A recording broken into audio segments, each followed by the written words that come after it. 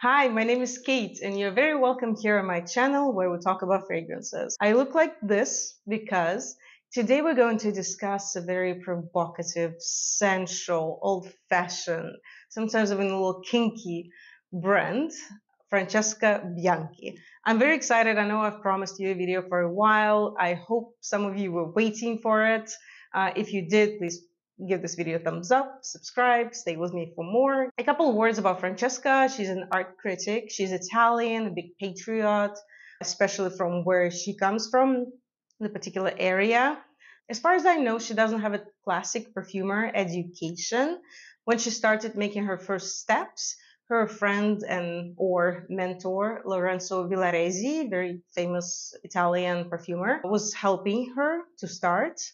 I find her fragrances very sensual. There's a lot of life. There's a lot of um, animalic parts, mimosa, orris roots. They're balsamic. They're like almost like caramel. You know, like very sensual. Again, I know I will say this word a lot today, but it's my main association.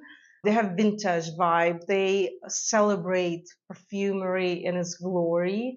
Uh, a little bit old school, good taste though.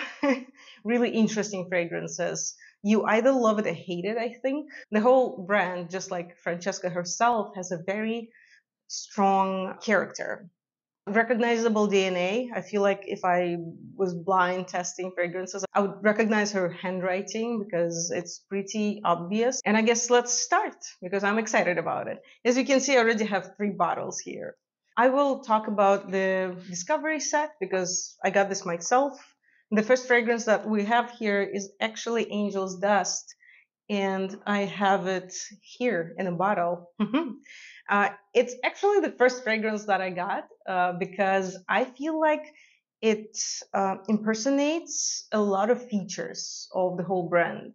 Um, if you try Angel's Dust, you will understand the mood, the vibe, maybe some distinctive features about Francesca's work. And I highly recommend to try this one. As far as I know, angel's dust means some kind of narcosis.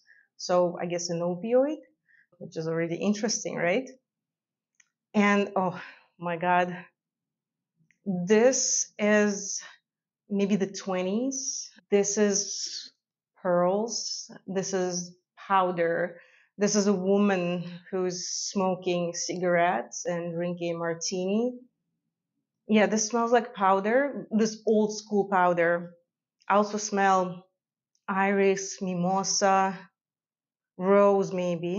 It's hard to tell sometimes because everything is compressed, you know? Everything is very, very, the structure is very tight. It's theatrical. It's a lady. It's this black and white movie it's a pretty heavy fragrance. It's it's not a light one that you spray on Sunday morning and go have a coffee. No, I wouldn't say so. This is like that, you know, has to it, it stands out. Uh, it's not like for every every routine moment of your life. This is vintage. This is eyeliner, long eyelashes like this. This is red lips.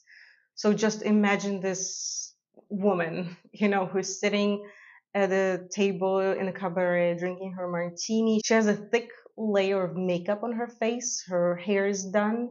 She wears pearls. Very old school, vintage vibe, but beautiful. Uh, beautiful fragrance. I just, I had no choice. I had to buy this fragrance because it has a very strong character. It's amazing. Next fragrance is Sex and the Sea. And this is a ylang ylang salt coconut water, some other tropical flowers. I also feel a little bit of sand, some saltiness of the sand and the kind of a texture of it. It's very strong, very potent. This white florals, yellow florals, this very strong.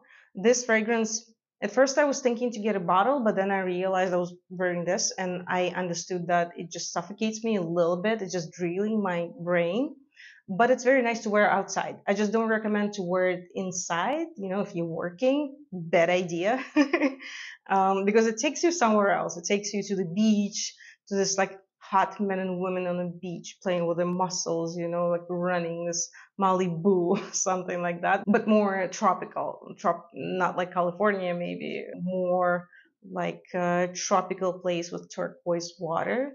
When I smell this, I think about this vacation fling with a very, very hot lifeguard or something like that maybe I understand what Francesca was inspired by. I don't know if there's a story behind it, but it's also very, very sensual. I like this fragrance, but I already told you that it's a little too heavy for me. And I found a solution. Actually, I don't need this because I have this. Sex and the Sea Neroli. Uh, I like this one better because I know that there was a story. I think Francesca found some neroli oil and she loved it so much and she wanted to use it. She decided to add it into Sex and the Sea, and I love the result because it has similar base. Uh, this ylang ylang, coconut.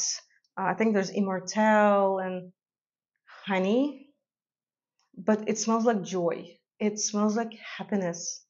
It smells like happiness on the beach. It gives me a little bit less of the sensual vibe from the first one this is more fresh and light. Neroli adds more air into this fragrance and it lets me breathe. This one lets me breathe. Oh, oh my god, it's so beautiful. It's also pretty heavy. None of these fragrances are light. This is for hardcore people who like to go all in. If you like very, very light fragrances, you know, citrusy, nothing that stands out a lot, maybe it's not brand for you, but how do we know? Maybe you try it and you fall in love, right? Next fragrance is Dark Side. And uh, listen to my notes. I have notes I prepared for the video and I wrote down my thoughts about each fragrance. So you just understand how much there is. Honey, propolis, balsamic, very strong smell, wax, styrax, powder, amber, gourmand, incenses in the opening, and sweet honey, patchouli, very intense. That's that are my notes. It definitely smells like propolis, like, you know, honey and wax together, a little bit medicinal and incenses with it. So you understand how intense this is. This is like a cloud that never lets go. It's not like a light white cloud, fluffy, cute. Ooh. No, this is not like it's a dark, like dark brown cloud around you, very balsamic the one that you can grab like this and will stay all over you. I don't know why I just have this association, but yes, this is very balsamic and medicinal and strong and I guess that's a little bit too much for me, but I'll consider it in the future. I just something you need to get used to. Next fragrance, Luxe Calme Volupte, is actually a line from Charles Baudelaire's poem. It was inspired by it, as I understand and it represents this beauty, luxury, glitzy sensuality. It starts with a bitter orange. It has a very, very beautiful opening. And then it transforms into galbanum, this like, you know, green, mossy kind of galbanum with vetiver and fruits. Really like it's too much. Like it's a lot. It's this luxury that's over the top. I, I think it's a very interesting idea, very interesting work. And I'm actually considering a bottle of this. It's really interesting galbanum. And the last fragrance for this video is Etruscan water that is dedicated to Etruscans who had conflicts with ancient Romans. And there's a, a lot of interesting history on that, but I don't want to dive into this. As I understand, it was inspired by old school colognes but this one, of course, this Francesca, it goes deeper and darker than that. It's um, like cold waters and grass and somewhere deep in the forest. It's very green, but it's also animalic to me. This one is the only one uh, within all her fragrances, I think. Uh, even those that are considered extra animalic, this one beats them. For some reason, my nose thinks that this smells like a dirty animal in in the forest you know it's how i smell it this is grapefruit with galbanum and i think jasmine too there's a mix of everything in it but i mostly smell the animalic part and this cold mossy green part on it. It's uh, pretty heavy for me to wear. It's the one that I maybe could not really make friends with, unfortunately, or fortunately, I don't know. But I recommend you to try something inspired by Tuscany, where she's from. That I mean, that area and Etruscans, very unusual work. I still did not understand it. I still I'm still trying, but if you like something of this kind, I recommend to try. Okay guys, these were the first 6 fragrances that I wanted to tell you about. Meet me in the second part of this review where I'm going to tell you about next 6 fragrances. Have a good day and bye bye.